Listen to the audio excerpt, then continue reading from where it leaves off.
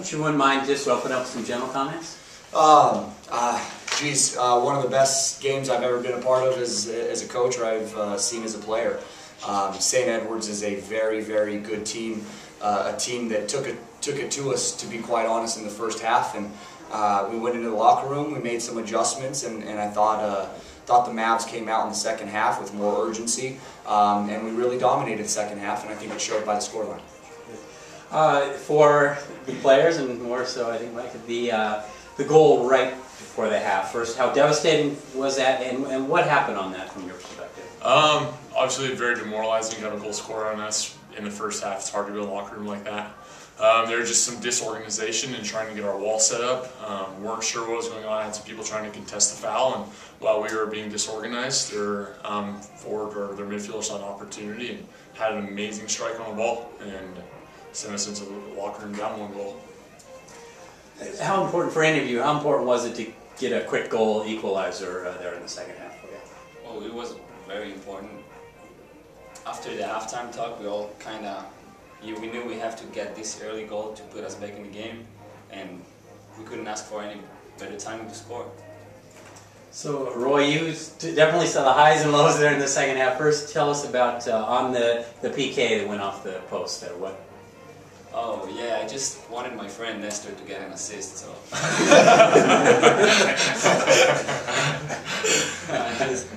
it's one of these moments that you have to forget quick. Coaches just would not stop yelling at me, just forget about it. Keep going, keep going, keep going. And I knew I had to like just leave it on the past and keep concentrating. And then describe for us what happened on your game-winning goal. Just Nestor played a great ball and I saw the keeper coming in front of me. He was diving to his left, so I placed it on his right. Coach, you mentioned uh, when you have a player miss a PK like that and you want to boost their spirits, but you're not able to call a timeout that. What were you doing to try and uh, get him back in? Uh, you, uh, Roy is an exceptional player, and he's an exceptional forward, and he's a, an exceptional penalty kick taker as well. Um, he hit it well, it was just a matter of an inch or two wide, and, and I think we all saw how demoralized he was by that miss. Um, all we said to Roy was that he was going to get another chance at some point in the game, and fortunately for us coaches, he did, and he was able to, to, to capitalize on the chance that he got with the game winner. And if, if he didn't pull himself uh, pull himself through that issue or situation, obviously that game-winning goal never, doesn't ever happen. Micah, they were putting pressure on there at the end, and you made some brilliant saves to keep them off the board. Just talk about the, the end of that game there, holding them off. Um, they, they did put a lot of pressure on us, had a lot of shots there towards the end of the game. They weren't a team that was going to give up easily or give up at all. And um, I just knew what I our team knew what we had to do. Um, and as part of the team, I had to do what I had to do and try to keep the ball in net by making good saves. And uh, it's a lot of pressure. Um, definitely very nerve wracking towards the end of the game. But we were able to hold them off, I guess.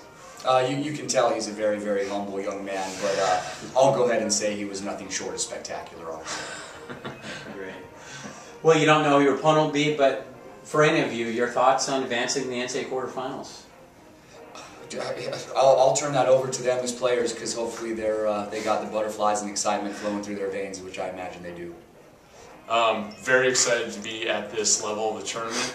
Um, none of us have ever been here, so it's a brand new experience for all of us. Um, and regardless of the opponent, we're going to come out and play our game. And how when we have came out and played our game in the past, uh, we've been able to come out with um, a good result. And so that's our plan going on to the next game, whoever the uh, opponent may be.